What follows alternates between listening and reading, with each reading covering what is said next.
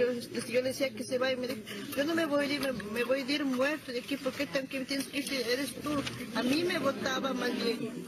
Tras su liberación y pese a que la justicia ya había dispuesto medidas de protección inmediatas tras la denuncia por violencia familiar, el hombre se acercó nuevamente a la vivienda de las víctimas e intentó agredirlas. La policía logró detenerlo, pero nuevamente fue puesto en libertad. La madre de la víctima pide justicia, pues el temor se apodera de ellas al saber que Harold Joel García Flores continúa caminando libre por las calles. La mujer ya ha tomado conocimiento sobre este caso y le ha dado las medidas preventivas tanto a la familia como a la menor.